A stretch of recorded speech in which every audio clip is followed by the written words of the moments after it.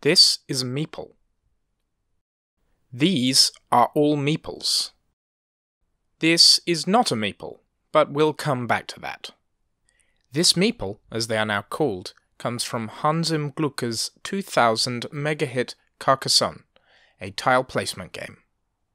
The earliest editions of Carcassonne refer to the pieces simply as followers, however, they have since been renamed.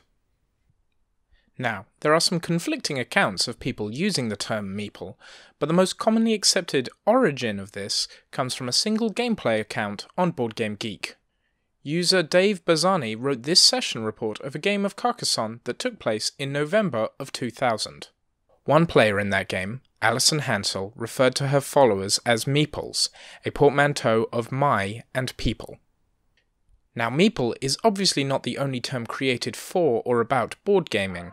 The board game glossary on BGG has over 200 entries, but meeple is arguably the most prominent of these terms. While it's harder to track the word's rise to prominence, there's no debate over how commonplace the word has become in the board gaming vernacular. It was even recognised in 2015 by the Oxford English Dictionary. A friend of mine with a degree in linguistics explained to me that one of the signs of an established and mature community is effective social networking, which allows for terms exclusive to that community to be passed around and to grow organically until they become commonplace. They become signs of belonging in the community in addition to their original meanings, and I think that Meeple most certainly has become one of those.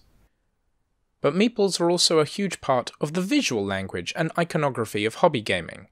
To many gamers, there is no shape more iconic than Hans Glucker's meeple design.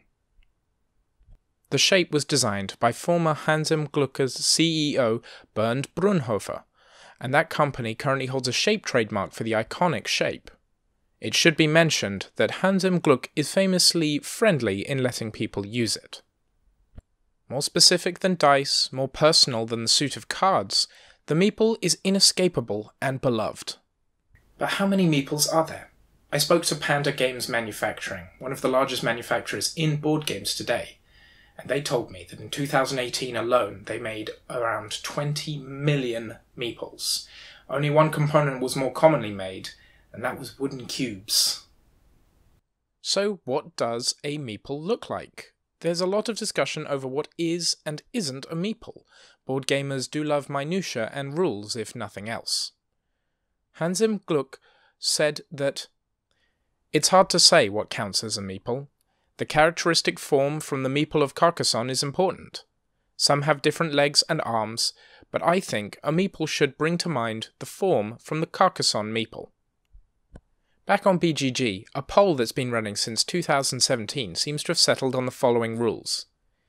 It needs to be a 2D representation of sentient life, so no cars or wheat.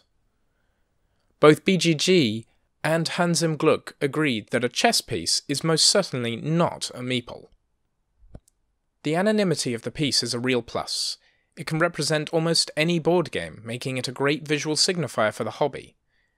These days, meeples come in all colours and sizes, materials, and more. They can be found on shirts, storefronts, websites, and more. There are entire games dedicated to these.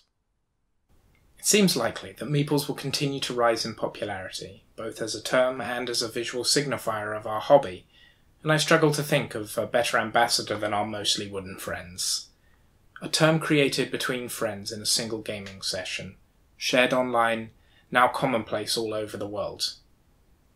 I think that's a pretty solid sign of the enduring and social power of board gaming as a hobby, and one of the main reasons that I love this hobby so much. So here's to the meeple and to many more.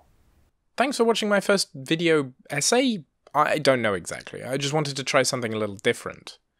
Do you have an attachment to any particular game pieces? Think there's something even more iconic than the meeple?